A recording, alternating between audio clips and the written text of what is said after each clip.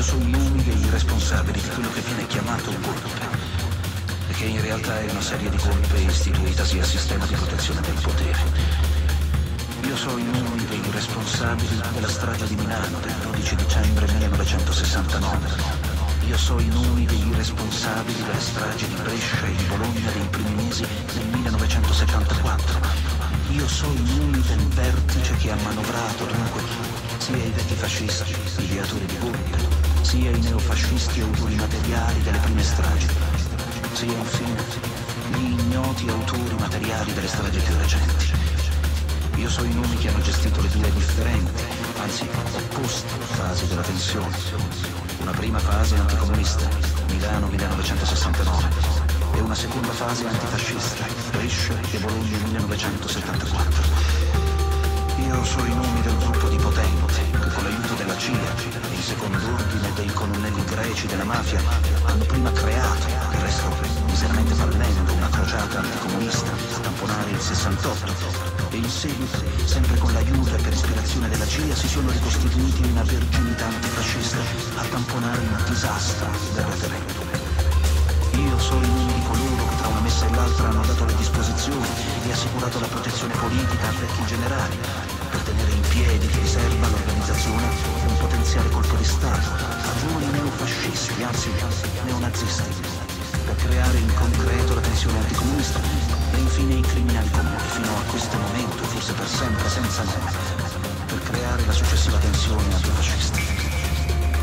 Io so tutti questi nomi e so tutti i fatti, attentati alle istituzioni e stragi di cui si sono resi colpevoli. Io so, ma non ho le prove, non ho nemmeno indizi. Io so perché sono un intellettuale, uno scrittore che cerca di seguire tutto ciò che succede, di conoscere tutto ciò che se ne scrive, di immaginare tutto ciò che non si sa o che si tace, che coordina fatti anche lontani, che mette insieme i pezzi disorganizzati e frammentari in un intero coerente quadro politico, che ristabilisce la logica là dove sembrano regnare l'arbitrarietà, la follia e il mistero. Tutto ciò fa parte del mio mestiere e dell'istinto la ricostruzione della verità a proposito di ciò che è successo in Italia dopo il 68 non è poi così difficile.